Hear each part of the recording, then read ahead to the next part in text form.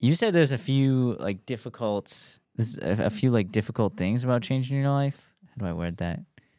All right. There's, So there's some like difficult, difficult things. Hats off. yeah, so had to take the hat off on this one. I might Okay. I can't drop this mic, but if I could, I would after this. so if you want to change your life and you really want to do it, there's gonna be struggles with it. Um this is the part that I wanted to talk about. Like I wanted to warn people, like if you're gonna if you're gonna give up this way of life that you were living and you don't want to live no more and you've hit rock bottom and you want to change your life, then you need to really sit down and assess what you're gonna do because this road ain't for the faint hearted. Like it's super hard changing your life. Um it is not easy at all. There's so many times where I have been put in various situations just unseen to anybody else that like could have led me right back to where I used to be. Um I fight every single day. I mean, I fight. I fight every single day to not take a flight back home to Tennessee, and just go live a way of life that is easy to me because changing your life is hard, bro. It is. Yeah. It's very hard trying to change and become something that basically you're not. Well, Um, especially when you're you're dragging stuff behind from your past life.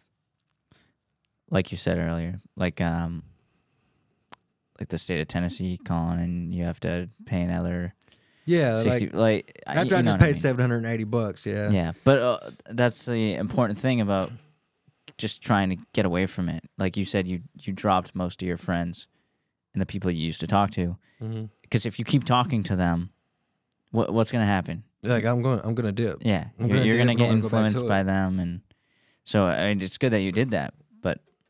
Yeah, there's definitely a lot of struggles when it comes to addiction. I, I've seen it in my life. I personally haven't struggled with it, but I've yeah, I've seen seen people, and it, it's it's tough. It's not for everybody. If you if you've never done drugs, then don't don't do them because there's no reason to. It's just gonna lead you. It's just gonna lead you down to a path that you don't want to go down.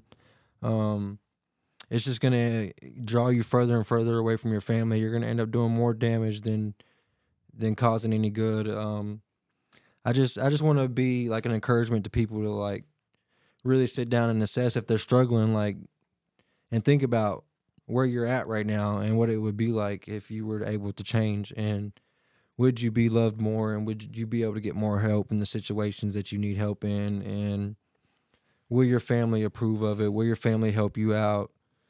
Just access access that stuff. Read a verse or two a day. Pray a couple times. Um and then and then wrestle with it. And getting help like you don't always have to go to rehab but like if you want to go to rehab like i've been to a thousand rehabs and like personally like I've gotten more out of just being in the church and like being able to feel loved again and feel like I've been self sufficient and get my stuff together has been more helpful to myself because it's things that I've been accomplishing myself versus to where and this is just me I'm speaking for me I'm not speaking for anybody else like I'm more power to the person that goes and do 30 days in rehab and gets their life completely together like all, all glory to them you know what I mean?